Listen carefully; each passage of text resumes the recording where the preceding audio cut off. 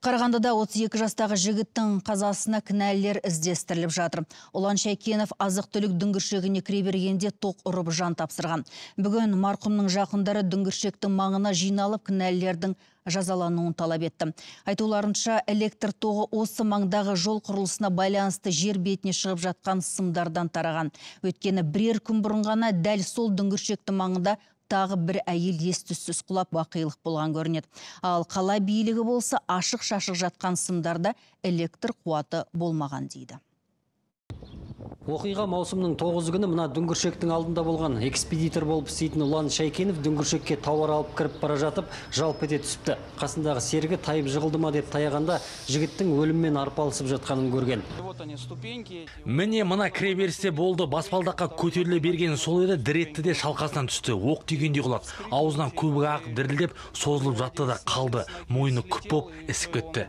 Бір сәтте ақ денесі қарайып кеткен ұланға медициналық жедел жәрдем көмектесе алмаған. Куәгерлер оның тоқ соққанын бір ауыздан айтқан алайда қала әкімдігі бүгін таң ата ұлан шайкенов денсаулығындағы ақауы сыр берген өлімнің тоқ соғуға қатысы жоғын айтып ақталды. Марқұмның жақындарын ашындырғанда осы жайт болды. Бірақ бала қап қара болып қарай кетеді неліктен қараяды айтыңыздаршы. Әркім біледі оны?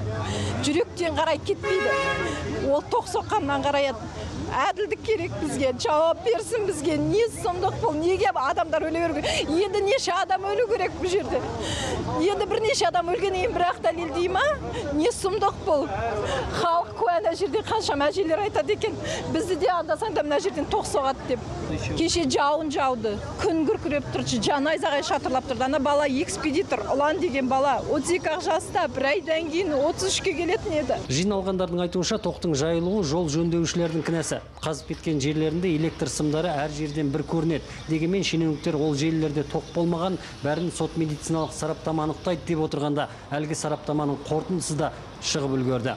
Сот медициналық сараптаманың қорытындысына сәйкес жәбірленушінің өлімі тоқ соғу салдарынан болғаны анықталды. Бұған дейін хабарлағанымыздай 6 маусым күні сол ауданнан 36 жастағы азаматтың мәйіті табылды. Сот сараптама қорытындысы ол азаматшаның өлімі жүрек ауруынан екенін анықтады.